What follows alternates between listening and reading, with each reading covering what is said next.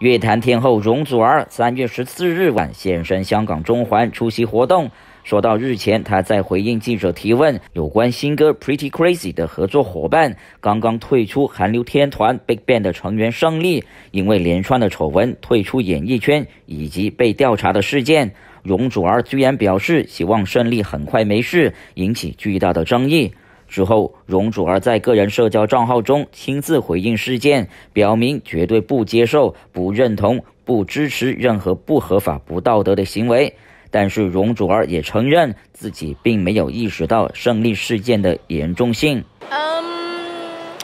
我也是很坦白的说，其实在这个合作合作身上，我是开心的，因为我觉得音乐应该是与。嗯，私人的生活分开。我们以歌论歌，真的是一首不错的作品。然后其他的，我真的没有时间很深入的去了解，因为我工作每天排得很满。然后呃，也因为公那个新闻出来之后，发觉可能有些事情我忽略了。那我再次呃澄清一下我自己的看法，我的立场。我也觉得这个是必要的，